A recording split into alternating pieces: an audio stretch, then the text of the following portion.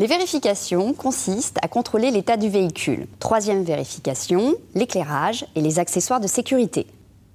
Je contrôle l'état et la propreté de mon optique avant. J'allume le contact, je vérifie que mon feu de position s'allume bien, donc il fonctionne.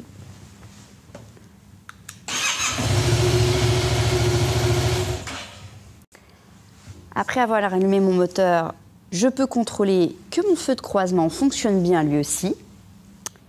J'en profite pour contrôler les feux de route, donc je laisse ma main devant l'optique afin de constater la modification d'éclairage et je contrôle également les appels de phare qui fonctionnent bien. Je contrôle mon indicateur de changement de direction gauche. Il est propre, il est en bon état et il fonctionne.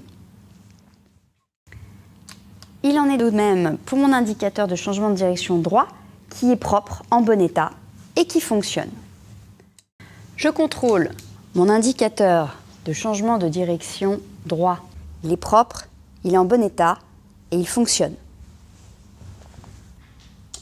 Je vérifie mon indicateur de changement de direction gauche. Il est propre, il est en bon état et il fonctionne. Je contrôle mon optique arrière. Il est propre, il est en bon état et il fonctionne. Je vérifie mon éclairage de plaque qui fonctionne bien, mon dispositif réfléchissant, bien présent et en bon état, ma plaque d'immatriculation est propre, en bon état et bien lisible.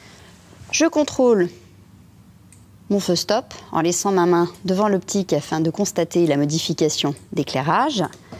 Même chose pour mon frein arrière. Ils fonctionnent bien tous les deux. Mes rétroviseurs sont propres, en bon état et bien fixés. Et mon avertisseur sonore fonctionne bien.